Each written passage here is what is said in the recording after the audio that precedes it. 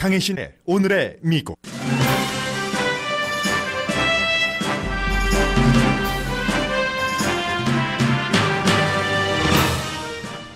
바이러스 사태 이후 미국인은 몸과 마음의 건강을 많이 잃었습니다. 몸무게는 평균 5파운드 늘었고 바이러스 이전으로 돌아가지 못할 것을 걱정하는 미국인도 과반수나 됩니다. 미국인의 3분의 1은 불안감이나 우울증을 느끼고 있습니다. 코로나 바이러스는 여름에 최고 10만 명의 추가 사상자를 낸 뒤에 올해 말에 악화될 것이며 연방정부가 주정부의 테스트를 책임지게 한 것은 불행한 결정이라고 하버드 공공건강연구소 소장이 말했습니다. 질병통제국과 의학협회는 항체가 생긴 사람이라도 단기간일 수 있다는 것을 경고합니다. 바이러스에 걸렸다 항체가 생겼다고 직장에 복귀했을 때의 위험을 말해주고 있습니다. 4월에 새집 판매가 전문가들의 예상과는 달리 늘어났습니다. 전국 부동산협회 회장 로렌스 윤 씨는 네 가지 이유를 제시하고 이 같은 무드가 오래 가진 않겠지만 금방 사라지지도 않을 것이라고 전망했습니다. 트위터가 처음으로 대통령이 한 트윗에 대해서 사실과 다르다는 경고를 했습니다. 투표에 관해서입니다. 또 다른 대통령의 트윗인 방송인을 살인자로 모는 트윗에 대해서는 친트럼프 신문인 뉴욕포스트가 사설로 비난을 했습니다. 적을 화나게 할 수는 있지만 아군도 등을 돌리게 하는 찌질한 대통령이라는 비난입니다. 미국 내 최대 노조가 조 바이든 후보를 공식 지지했습니다. 노조위원장은 2016년 많은 노조원이 트럼프 대통령에게 투표했는데 대통령은 근로자의 안전을 지키는 규정을 철폐하는 등 자신의 색깔을 드러냈다고 비난했습니다. 미네소타주 미니아폴리스에서는 흑인 남성을 숨지게 한 경관 4명이 해고됐고 뉴욕에서는 새를 관찰하던 흑인 남성이 자신과 강아지를 위협했다고 신고한 백인 여성이 직장을 잃었습니다.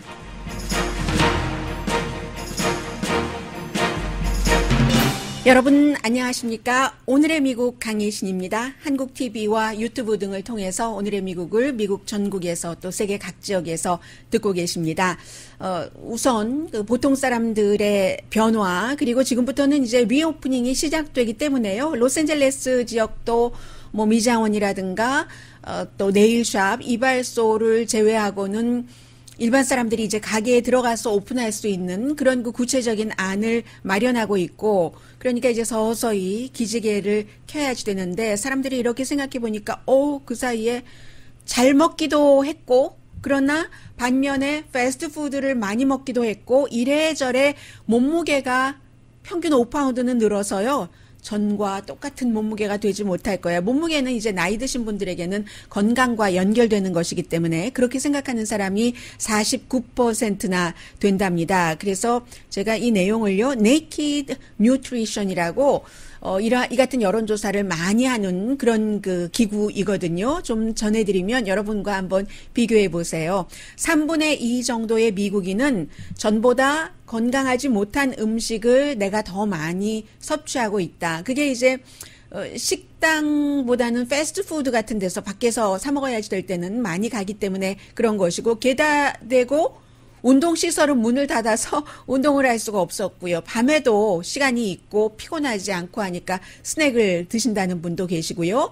해서 어 지금 그 49% 말씀드린 대로 내가 전에 그 몸무게로 돌아가지 못할 거야 하는 것을 걱정한다고 하고 3분의 1 정도는 미국 사람들은 뭐 집에서 술을 마시는 경우가 많으니까요. 와인이 됐건 뭐 하드리거가 됐던 전보다 술을 더 마신다.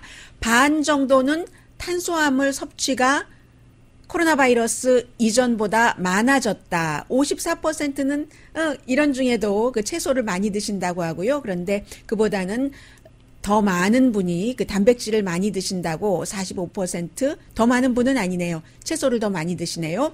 그리고 분명하게 내가 코로나 바이러스 이전보다 건강해졌어? 아니야? 라고 하는 부분에 대해서는 64%가 앞에 말씀드린 그런 이유들 때문에 나 좀 덜 건강해진 것 같아 신경도 많이 쓰시잖아요. 더군다나 운동 부족이기 때문에 그래서 집에서 운동을 하기로 하고 이것을 습관을 들이고 있다 하는 사람이 응답자의 64%나 됐는데 걷기가 제일 많습니다. 48% 그리고 휴대폰 앱을 통해서 운동을 한다. 46% 웹사이트를 통해서 운동한다 44% 온라인으로 그 피트니스 그 class를 에서 함께 운동한다 41% 무슨 뭐 비디오를 보고 한다 그 밖에 40% 정도는 됐습니다. 이게 이제 신체적인 건강이고 정신적으로는 여러분들 어떠세요? 내가 왜 이렇게 눈물이 나지? 왜 이렇게 우울해? 여러분들만의 일이 아니고요. 미국 사람들의 3분의 1 정도는 불안감이나 우울증을 느끼고 있다. 이것은 이제 센서스에서 그 여러 가지를 그 몇 주일 동안 조사를 해서 발표한 내용입니다. 그 특히 이제 정신건강으로 인해서 상담을 받은 그 환자들을 중심으로 많이 조사를 했는데 24% 정도는 우울증을 앓고 있고 그보다 조금 많네요. 30% 정도는 늘 그 불안감을 느낀다고 얘기를 합니다. 이게 이제 2014년도에도 이와 같은 대대적인 조사를 했었던 적이 있었는데 그때에 비해서 이 같은 우울증이나 불안감을 많이 느낀다 하는 비율이 지금 두 배 정도는 더 나온 것이고요.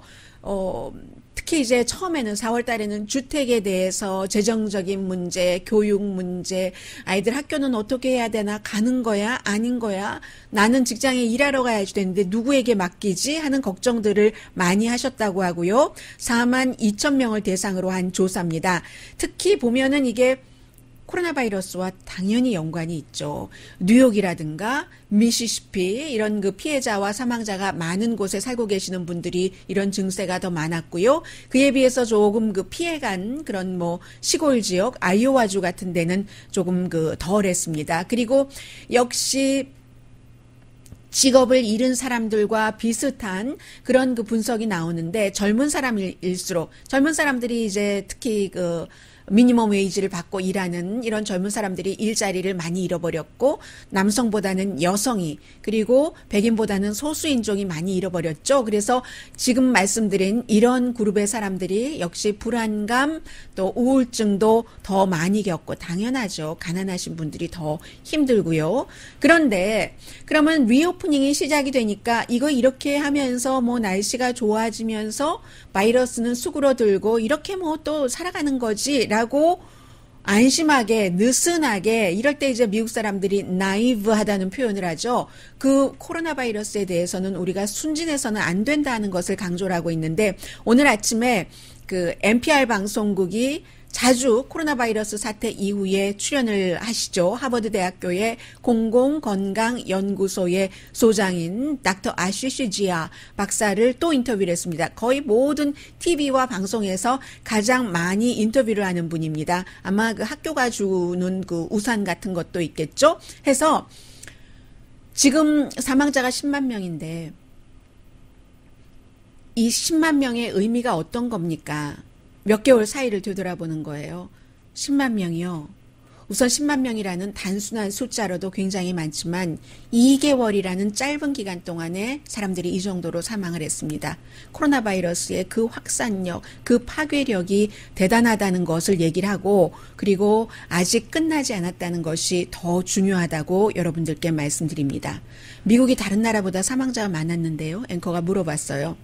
그런데도 미국에서 많은 지역에서 사람들이 내일처럼 느끼지 못하는 사람들도 있다는 겁니다. 뉴욕이라든가 뭐 또 뉴올리언스라든가 루이지아나주요, 플로리다주, 시애틀, 뭐 미, 음, 디트로이트 이런 대도시에는 옆에 사람이 숨지고 또 내 친구 가장 친한 친구가 간호사인데 더군다나 그 간호사 친구가 두 boy를 둔 그 기르고 있는 single mother인데 그 간호사도 아프다 뭐 이런 얘기를 많이 들어서 알고 있지만 시골로 지나면은 가면은 별로 그런 걸 못 느끼고 실제로 어제 그 갤럽의 여론조사 결과를 보면은 시골 지역이 또 공화당이 많잖아요. 공화당은 아직도 코로나 바이러스가 치명적이지 않다고 생각하는 사람들이 더 많답니다. 그런데 이 하버드 대학교의 공공건강연구소의 소장은 이게 결국은 시골까지 갈, 때, 갈 겁니다. 그러면 미국 사람들이 시골, 도시, 화이트칼라, 블루칼라, 남자, 여자,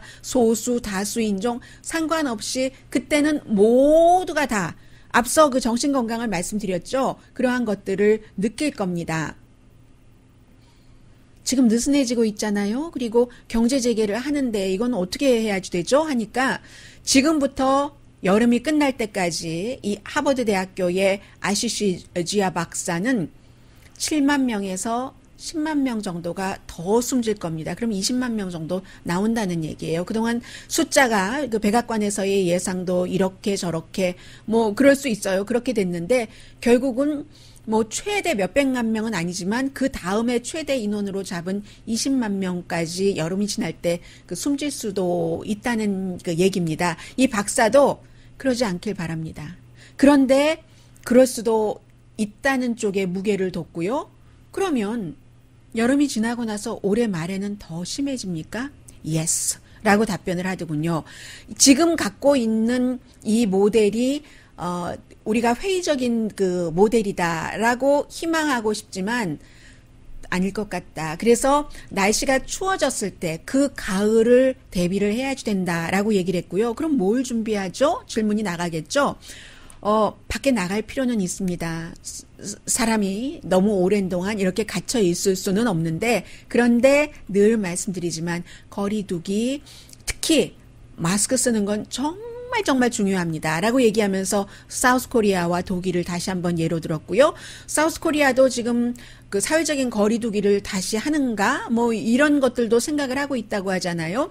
그래서 두 번째는 테스트하고 추적하고 격리 프로그램 여기서도 역시 한국과 독일의 이 세 가지를 잘한 것을 하버드 대학교의 그 연구소장이 얘기를 합니다. 연방 정부가 지금 경제 제재는 완화하라고 북소리를 치면서 그런데 테스트 자체는 주정부가 알아서 해. 이게 지금 연방정부의 규정이거든요. 여기에 대한 의견을 듣고 싶습니다. 책임 자체를 이제 주정부에 준 거예요. 기회를 잃어버린 것이고 굉장히 불행한 것이다. 왜냐하면 각 주정부가 이 코로나 바이러스에 대해서 정말 중요한 역할을 하고 있고 주정부가 해야지 된다. 잘 아니까 그 로컬 사정을. 그런데 테스트할 수 있는 능력과 그 공급망은 어차피 연방 정부와 국제적인 것이다. 많이 말, 여러분들께 말씀을 드렸어요. 왜 의료 이런 것들이 그렇게 모자라느냐? 몇몇 회사가 갖고 있고 그게 국제적인 체인망인데 이게 연방 정부로서는 어떻게 할 수 있지만 주 정부로서는 그 능력이 안 되는데 지금 연방 정부에서 앞으로도 테스트를 계속 해야지 된다는 얘기입니다. 이것을 주 정부에게 책임을 다 맡겨 놓으면은 주 정부가 50개 주 정부가 다 경쟁을 지난번만큼은 아니지만 해야지 된다는 얘기입니다. 그래서 이거는 안 되고 연방적인 하나의 정책이 필요하기 때문에 굉장히 걱정된다 하는 얘기를 했고요. 그리고는 이제 간단하게 몇 가지를 전해드리자면은 CDC 그 질병통제국이 다시 어제 강조를 했는데 지금 그 코로나 바이러스에 걸렸다가 회복되신 분들이요 항체가 생겨서 그럼 면역성이 있으니까 다시 안 걸리겠네? 이 부분에 대해서는 미국에서도 한국에서도 그런데 걸린 사람이 또 걸렸어? 라는 것이 나오잖아요. 물론 단기간에 항체가 생길 수는 있으나 이게 데이터가 더 필요하다라고 얘기를 하고 코로나 바이러스도 계속 변이 전이 되기 때문에 또 다른 형태의 바이러스 지난해에 독감 걸렸다고 예방주사 맞았는데도 올해 걸릴 수도 있고 안 걸릴 수도 있잖아요. 형태가 다르니까. 그런 것을 CDC가 굉장히 강조를 하고 있고요. 이것은 이제 한번 그 코로나 바이러스 코비드 19에 걸렸다가 항체가 생겼다고 해서 직장으로 누군가가 복귀를 했잖아요. 그런데 그러면 어 저 사람은 이제 안전하겠네? 그게 아니라는 겁니다. 그 사람도 또 걸릴 수 있다는 것을 질병통제국이 강조를 했고요. 그리고 며칠 전에 미국의 그 의사협회에서도 똑같은 얘기를 했거든요. American 그 Medical Association 제일 큰 협회에서도 항체 테스트가 yes 면역으로 나왔다고 하더라도 그 본인도 그렇고 주변 사람들도 안심하면 안 된다는 얘기가 있고요. 아직도 지금 어, 어디 가면 철없이 나 코로나 바이러스에 걸렸어 하면서 마음에 안 든다고 뭐 grocery store에서 침을 뱉는 사람도 있고 그래서 체포되죠. 또 이제는 마스크를 안 쓰면 저희가 서브를 안 하겠습니다. 이런 것이 일상이 되는 그런 시기인데 뭐 공화당 가운데서 상당수가 괜찮다고 얘기를 하고 하니까 이게 나만 잘한다고 되는 게 아니 운전이랑 비슷한 거예요. 나만 잘한다고 되는 게 아니고 이게 굉장히 걱정이고 여기에 대해서 이제 그 LA 카운티에서 그 교회의 경우에는 그 교회에 원래 들어갈 수 있는 사람의 25% 내지는 100명 그 이하로 이제 하기로 하고 여러 가지 찬양 같은 것 하지 못하게 하는데 한인교회 같은 경우도 찬양을 어 뭐 성가대를 거리두기를 하고 안 하는 그런 경우도 있고 차, 성가대 다 나오게 하는 교회도 있다고 들었습니다. 굉장히 위험하죠. 어, 지금까지의 예로 보면은 왜냐하면 성가대 한 사람이 그 확진자로 나오고 양성 반응이 나오면 크게 노래하고 할 때 뭐 소리도 크죠. 소리도 크고 이게 이제 입도 크게 벌리고 하니까 그래서 이제 찬양대가 성가대가 중요한데 그런 부분에서 지금 캘리포니아 주의 가이드라인 자체는 찬양대도 그 안 안 되게 하고 오늘 아침에 이 부분에 대해서는 제가 잠깐 그 미셸 스틸박 오렌지 카운티 그 슈퍼바이저가 준비해 놓은 그런 원고를 읽는 것을 NPR 방송을 통해서 들었는데 캘리포니아주의 가이드라인이 별로 탐탁치 않다는 그런 내용입니다. 애매모호하기도 하고 하면서 찬양대 성가대 얘기를 하죠 하더군요. 성가대도 그렇게 하면 안 된다고 했는데 성가대 자체는 사실은 가능하면은 그 자제하는 것이 지금 질병통제국이나 여러 전문가들이 제안하는 것인 것 같고요. 그리고 이제 그 인도어, 아웃도어 그 쇼핑센터에서 50%까지 교회는 25%인데 50%까지 수용 인원에 그 정도로 수용을 하면서 indoor에서도 쇼핑을 할 수 있도록 구체적인 안이 이제 또 뭐 오늘 오후쯤에는 나오겠죠. 그리고 swap meet도 운영할 수 있고요. 어, 그 flea market도 운영할 수 있고요. 드라이브인 극장 마찬가지로 할 수 있고 뭐 아파트먼트, 콘도미니엄 같은 경우는 공중으로 그 사용하는 이제 아이들도 있고 하는데 수영장도 보낼지 모르겠어요. 부모님들께서 수영장이라든가 자쿠지 같은 것도 지금 쓸 수 있다. 이런 얘기들 나오고 있고요. 어제 제가 헤드라인에만 말씀드리고 그 미처 못 전해드리고 끝났더군요. 그 내용을 잠깐 여기에 첨부하자면 지금 그 식품의약국이 완전히 잡힌 게 아니다. 하버드대학교 공중그 보건연구소의 소장과 똑같은 얘기를 하고 있죠. 개인과 커뮤니티에 달려 있다. 거리두기, 손 씻기, 마스크 쓰기, 캠핑 오케이인데 질병통제국은 조금 보수적이에요. 그래서 어, 캠핑에 대해서는 그 캠핑장이 병원에서 멀다. 만약에 무슨 일이 일어날 때 그리고 화장실을 공유해야지 되니까 그리고 아직도 많은 그런 그 야외에 화장실은 개방하지 않은 곳도 있는데 picnic area도 여러 사람이 함께 쓰는 것이기 때문에 아직은 안전하지 않다고 질병통제국은 얘기를 하고 있습니다. 공원, trail 이렇게 공간 자체가 열린 공간이라는 그 자체는 좋은데 햇빛도 받고 비타민 D도 받고 공기를 마시면서 좋기는 좋은데 그런 문제가 있다. 그래서 바깥에서 활동할 때라도 아는 사람 몇몇 가족이 이렇게 그 같이 그 지내는 것, 뭐, 뭐, 하이파이브 이런 것 하지 마시고요. 어, 그런 것이 좋다. 그리고 아웃도어에서도 마스크는 꼭 쓰는 것이 좋다. 병리학자, 그 닥터 에밀리 랜든 같은 분들, 이런 분들이 지적을 하고 있습니다.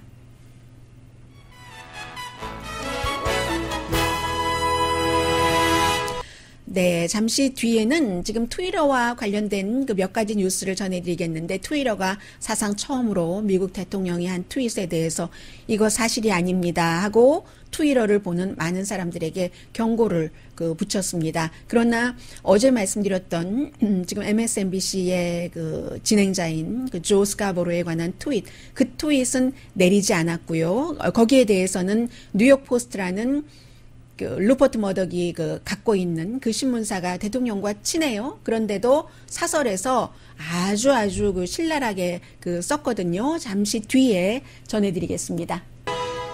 라디오 서울 방송 오늘의 미국 듣고 계십니다. 네, 이제 어제 여러분들께 그 전해드렸었던 그 트럼프 대통령의 그 조 스카보로라는 원래는 서로 친했는데 이제 조 스카보로가 모닝 조 MSNBC 모닝 그 쇼에서 트럼프 대통령을 신랄하게 그 비판을 하면서 사이가 멀어졌고 그리고 조 스카보로가 연방 하원 의원이었던 그 당시에 스테비 한 사람이 그 플로리다주가 지역구였으니까요. 사무실에서 숨졌는데 그때 스카보로는 워싱턴 D.C.에 있었고요. 그 여성을 그 조 스카보로가 그 살인했다는 그런 형태로 그리고 이제 누군가가 추적을 해봐. 뭐 이런 식으로 그 트윗을 그 몇 번을 했습니다. 지난번에 그 힐러리 클린턴 이메일 러시아 좀 추적 좀 해봐 하는 식으로요. 그런데 그 케이스는 또 이메일 케이스와는 달라서 뭐 경찰이 조사를 하고 또 검시가 끝났고 어, 그리고 이제 가족들이 다 받아들였었고 그랬던 것들인데도 요즘에 이렇게 그 나왔습니다.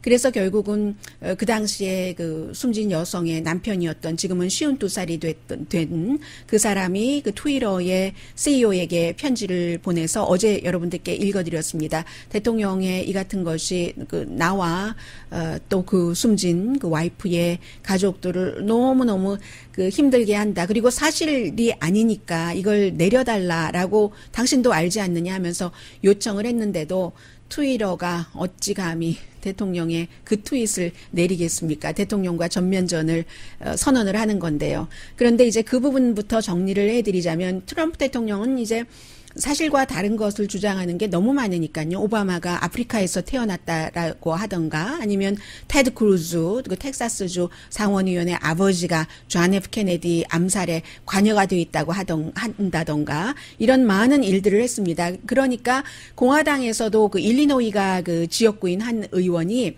완전히 이건 그 사실 그 무근의 음모다. 멈춰라. 퍼뜨리는 것을 멈춰라. 불신 조장을 멈춰라. 우리를 파괴할 것이다. 공화당뿐만 아니라 모든 미국을 파괴할 거다. 아, 담그 켄징어라는 일리노이주의 의원이 그렇게 얘기를 하고 있고 당사자인 조 스카보로의 경우는 이것은 푸틴 러시아 대통령이 하는 짓이다. 블라디미르 푸틴이 저널리스트들을 압박할 때 그 본인에 대해서 뭔가를 지적하는 저널리스트들을 압박할 때 하는 것이고 블라디미르 푸틴뿐만이 아니라 세계의 독재자들이 수천 년 동안 써왔던 기술이다. 일종의 기술인 거죠. 헝가리 총리도 마찬가지고요. 빅터 올반도 어, 마찬가지고 어, 그, 그 방송인 또는 그 신문 기자들을 침묵시키려고 어떤 범죄 같은 것을 씌워서 덮어버리는 이런 것이다. 본인은 지금 그렇게 얘기를 했고요. 트럼프 대통령은 여전히 뭐 스카보로 그렇다 이런 얘기를 하고 있고 뉴욕 포스트가 여기에 대해서 사설을 실었습니다. 제목 자체는 트럼프 트윗의 위험 뭐 이런 내용이고요. 어, 이 대통령의 트윗에 대해서 enjoy 하는 사람도 분명히 있을 것이다. 그러면서 그런 사람들이 그렇게 믿고 있는 건지 말하는 것인지 어, 우리가 언제 대통령의 성품 보고 뽑았느냐, 성품 보고 좋아하느냐, 그 사람의 정책이지 하면서 특히 예루살렘으로 미국 대사관을 옮긴 것이라든가 이번에 교회를 그 오픈하라고 한 것이라든가 이런 문제를 얘기를 한다. 그런데 그 사람, 당사자, 숨진 사람의 명예도 그렇고 결국은 이게 조 스카보로와 남녀 관계가 있어서 조 스카보로가 그 여성을 살해했다는 얘기잖아요. 그러니까 다 나와 있는 얘기기 때문에 말씀을 드립니다. 사실은 이렇게까지 말씀드리고 싶지는 않았는데 다 여러분들께서 짐작하셨을 것 같고요. 몇 번의 보도에서 그런데 이 뉴욕 포스트조차도 그 여성의 숨진 여성이지만 숨진 여성과 살아있는 남편과 또 부모 28살 때 숨졌어요. 그 스텝이 뭐 심장 질환이 있었다고 하고 어 이렇게 그 정신을 잃고 넘어지면서 데스크에 머리를 부딪혀서 이제 숨졌다는 검시 결과가 나왔고 그 부모님들을 이렇게 계속 괴롭힐 필요가 무엇이 있느냐 그것도 대통령이 이게 당신이 원하는 대통령이었습니까? 하고 뉴욕 포스트가 질문을 합니다. Is that really the president you want to be?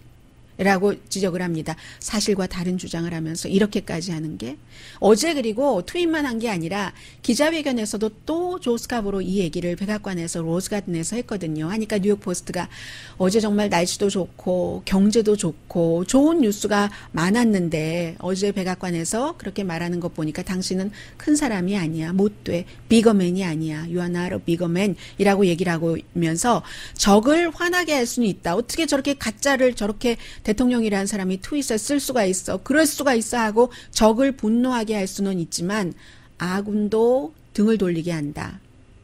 아군도 등을 돌리게 한다. You are making 아군 턴아웃이라고 얘기를 했습니다. 그렇기 때문에 위험한 트윗이다.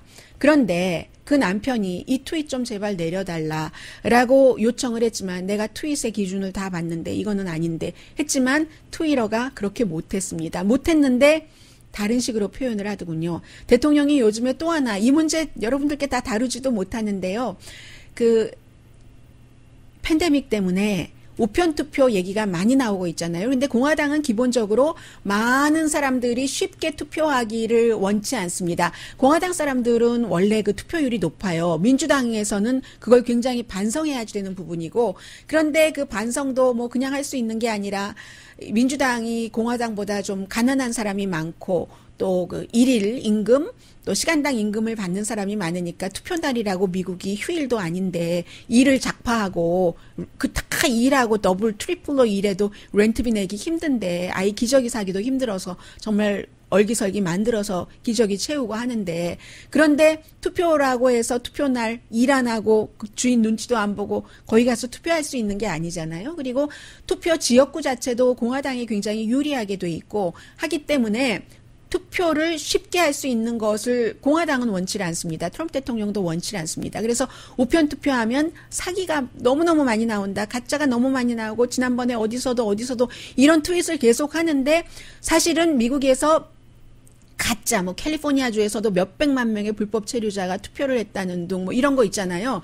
그런 것들이 거의가 다 가짜. 전 뉴스자도 안 붙이겠어요. 가짜입니다. 그러니까 트위터가 이런 것을 잘 정리를 해서 대통령이 트윗한 이 같은 것이 이게 사실과 다르니까 여러분들이 참고하십시오. 라고 했습니다. 이것으로서 그, 그 플로리다주 그 조스카브로 케이스, 숨진 여성 케이스를 이렇게 이렇게 저렇게 한 거죠. 약간의 마무리를 한 거죠. 그렇게 얘기를 했어요. 트위터가. 그래서 미, 그런데 그런데 왜 그럼 그 트윗은 안 내리느냐? 그 트윗이 옳기 때문에 안 내린다고 하진 않았어요. 다만 트위터의 정책 위반이 아니다. 트위터가 정책 위반을 결정할 때는 민권에 관한 것, 투표에 관한 것은 분명히 명시가 돼 있는데 어떠한 범죄에 관한 것은 없다. 이렇게 뭐 얘기를 하면서 앞으로는 그것도 확대해 나가겠다라고 얘기를 했거든요. 그러자 이제 그 트럼프 대통령이 그 우편 투표와 관련해서는 미시건과 네바다가 우편 투표 확장한다고 기금 연방 돈 안 줄 거야라고 얘기하고 캘리포니아주도 비난 많이 하고 했었습니다. 우편 투표는 아무튼 사기라는 거예요. 그런데 트럼프 대통령도 지난번 최근에 가장 최근에 두 번 투표 우편 투표 했거든요. 캘리포니아주도 지금 우편 투표가 현장에 나가서 하는 투표보다 더 많거든요. 대통령의 말을 따르면 메일 박스가 절도당하고 투표 용지는 조작돼서 다른 사람 불법적으로 프린트되고 다른 사람이 가짜 사인을 해서 민주당에게 표를 준다 뭐 이런 얘기이거든요. 그래서 트위터가 팩트 체크를 한 페이지를 이렇게 연결을 하고 투표 과정을 설명을 해주고 미국에서 정말 어쩌다가 굉장히 많은 사람들이 투표를 하는데 뭔가 좀 맞지 않는 게 나올 수는 있지만 굉장히 드문 일이거든요. 부정 투표라는 것이. 어, 그런 얘기를 했습니다. 그랬더니 트럼프 대통령이 당장에 트럼프 대통령 캠페인 매니저도 뭐 실리콘밸리가 그 트럼프 대통령에게 적대적이야 이런 얘기를 했고 트럼프 대통령은 아예 흥 트위터가 2020년 대선에 개입을 하고 있네. 나는 대통령으로서 절대로 사기가 일어나지 않도록 할 거야 하면서 이 지금 트위터가 제시하고 있는 여러 가지 그 투표에 있어서의 그 같은 사기, 그 가짜 투표가 없었다는 이런 것들은 그건 다 가짜 뉴스 CNN과 워싱턴 포스트, 아마존이 한 거잖아. 이런 식으로 그렇게 얘기하면 그 다음부터는 이제 할 말이 없는 거죠. 그리고 대통령이 이 같은 트윗을 한 것을 트위터는 없애지 않았습니다. 대통령이 또 뭐라고 얘기를 했냐면 규제하겠다고 소셜 미디어가 보수를 타겟으로 하고 보수의 목소리는 안 실어준다고 그러니 강하게 규제하거나 아니면 이런 얘기도 했어요. 아니면 아예 닫아버리거나 딱 이 뉘앙스 아니면 뭐 아예 닫아버리거나 트럼프 대통령이 이렇게 얘기하니까 트위터도 함부로 할 수가 없는 거예요.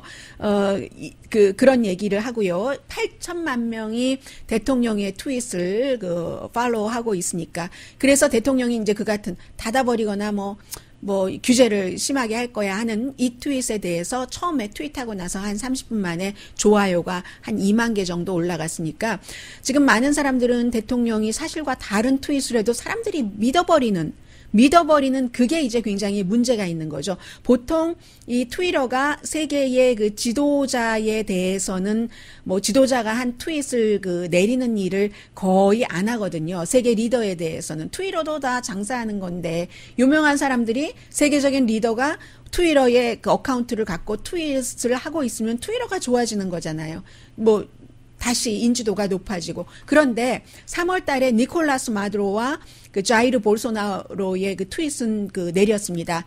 증명되지 않은 코로나 바이러스 치료에 관해서 얘기한 것에 대해서 그러니까 트럼프 대통령이 지금 니콜라스 마두로 베네수엘라에 브라질의 자이르 볼소나로 수준이 딱 된 겁니다. 그리고 사실은 코로나 바이러스에 대한 그 대처도 브라질 대통령과 트럼프 대통령과는 상당히 그 같이 간 것이 많죠. 작은 감기 정도 같고 뭘 그래. 뭐 이러다가 볼소나로가 조금 트럼프 대통령보다는 어, 내려놓은 게 있죠. 마스크를 가끔 쓰기는 하지만. 그래서 이게 굉장히 뉴욕 포스트까지 등장을 해서 트럼프 대통령이 트윗하는 게 이게 좀 수위가 높아졌네, 위험하네, 라고 생각을 하면은 어, 트럼프 대통령도 뭔가 지금 더 많이 분산을 해야지 될 이슈를 코로나 바이러스에서부터 다른 더 샤킹한 곳으로 사람들이 그 생각을 하고 뉴스를 쫓아가게 해야지 되는 그런 부분이 있다는 것도 보여주는 것이기도 하고요. 잠시 뒤에 현재로서는 어, 조 바이든 후보가 조금 입장이 나은 것 같습니다. 전체적으로 보기에는요. 그 공화당, 음, 민주당 이렇게 딱 떼놓고 보는 게 아니라 뭐 가장 그 인원이 많은 노조가 AFL 그 CIO잖아요. AFL 그 CIA 노조가 그 조 바이든 후보를 공식 지지를 했거든요. 지난번에는 트럼프 대통령 지지한 사람 많고 또 트럼프 대통령이 들어오고 나서 일자리 미국으로 가지고 온다고 하고 하니까 트럼프 대통령을 뭐 칭찬도 하고 했어요. 그러나 결국은 원래 민주당 색이 강했지만 조 바이든을 지지한 것 이게 대선에는 어떤 영향을 주는지 잠시 뒤에 전해드리겠습니다.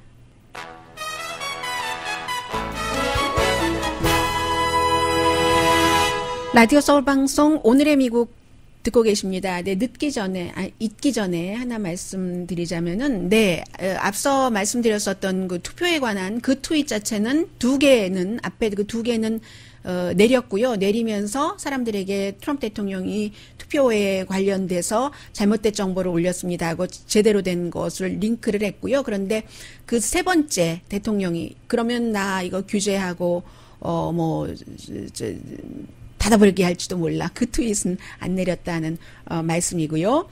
어, 노조가 민주당을 늘 그 지지를 그 주로 해왔지만 노조가 지금 이 시점에 조 바이든 후보를 공식적으로 지지를 했는데 물론 지금까지 조 바이든 후보가 뭐 워낙에 민주당이니까 한 16개 정도 작은 노조의 공식 지지를 받았는데 이번에 그 AFL 그 CIO의 경우는 전체 그 노조원이 한 1200만 명이 넘거든요. 1250만 명 정도? 네. 1250만 명 정도가 됩니다. 그러니까 유권자잖아요, 전부. 그 1250만 명 정도가 유권자가 되는 여기서 그 지지를 했다는 것은 지금 강한 누가 됐던 다 이기면 좋을 스윙 스테이트요.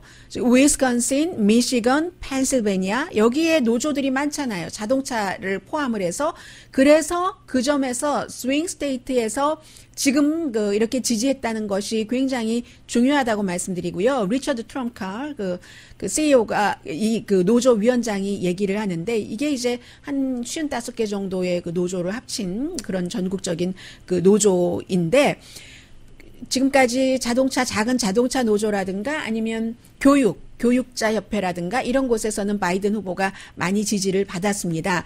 버니 샌더스 후보가 이제 뭐 후보를 안 한 것으로 사퇴한 거나 마찬가지잖아요. 뭐 일부에서 이름이 아직까지 올라가 있기도 하지만 그리고 나서 6주일을 기다린 겁니다.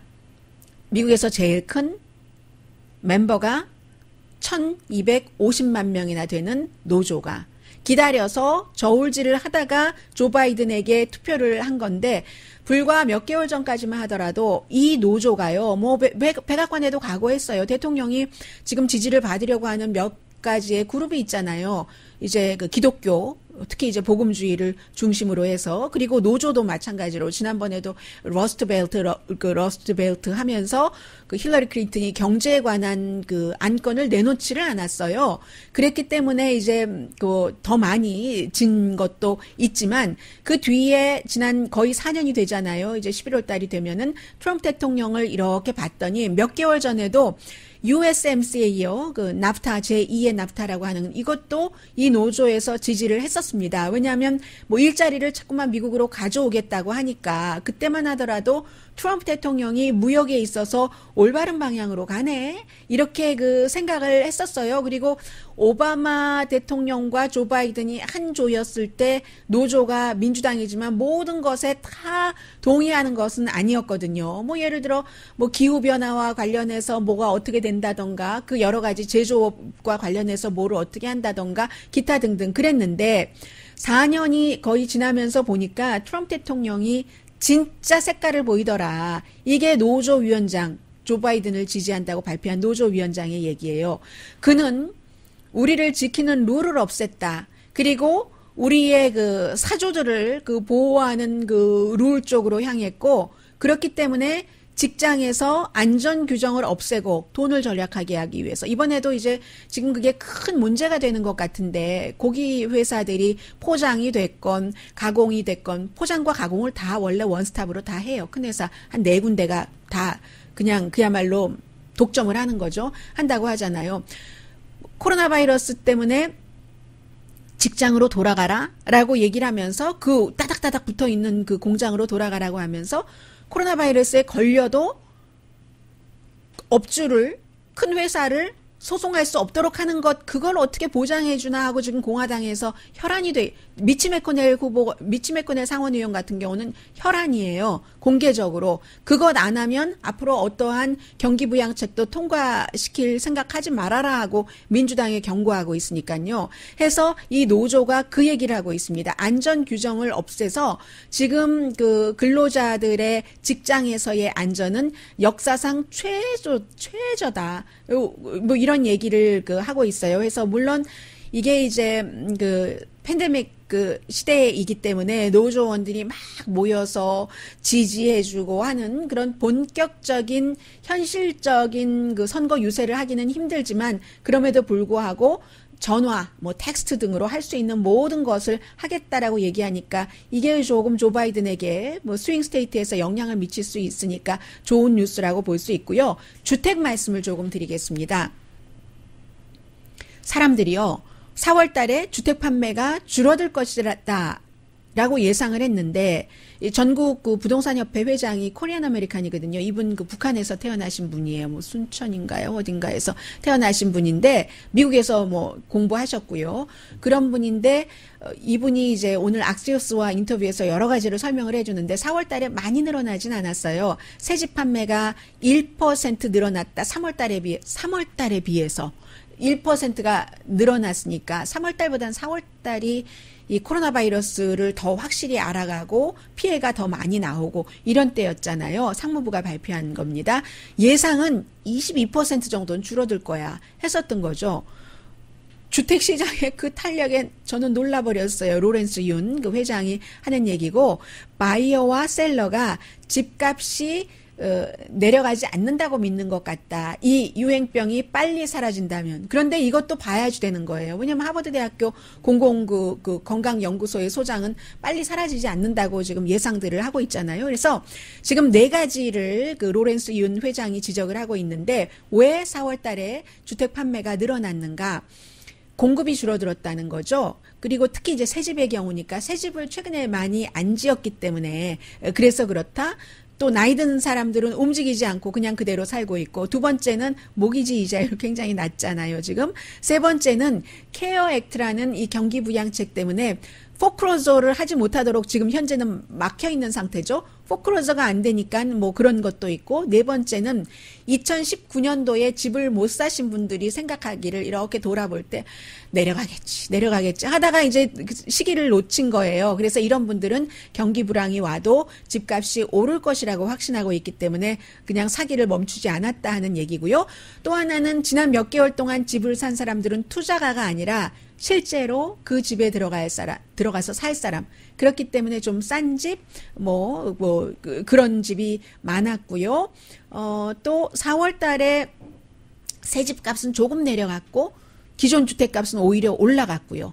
뭐 이것도 놀라운 일이다라고 얘기를 하는데 그런데 이게 이것도 다 코로나 바이러스의 미래와 연관이 있어서요. 이 유행병이 더 강해지면 주식시장이 이제 젊은 사람들이 일자리 안전하지 않고 하니까 집 안 살 테고 중간층 수요도 줄어들 테고 할 것이다. 그런데 지난 6, 7년 동안의 주택값 상승이 수입, 우리 인컴 상승률보다 훨씬 앞질러 있었잖아요. 이 같은 그 무드에서도 4월 달에는 이랬는데 이게 오래 갈까? 거기에 대해서는 I'm not sure 라고 얘기를 하지만 그런데 금방 수그러들지도 않을 것 같다. 지금까지의 적어도 주택시장은 놀랄 만큼 좋다 하는 게 로렌스 윤 전국 부동산 협회의 Korean American 그 회장이 악시오스와의 인터뷰에서 강조한 얘기고요. 잠시 뒤에는 어, 이런 사태에서도 그 미국의 달라지는 미국, 여전한 미국이 있거든요. 전해드립니다.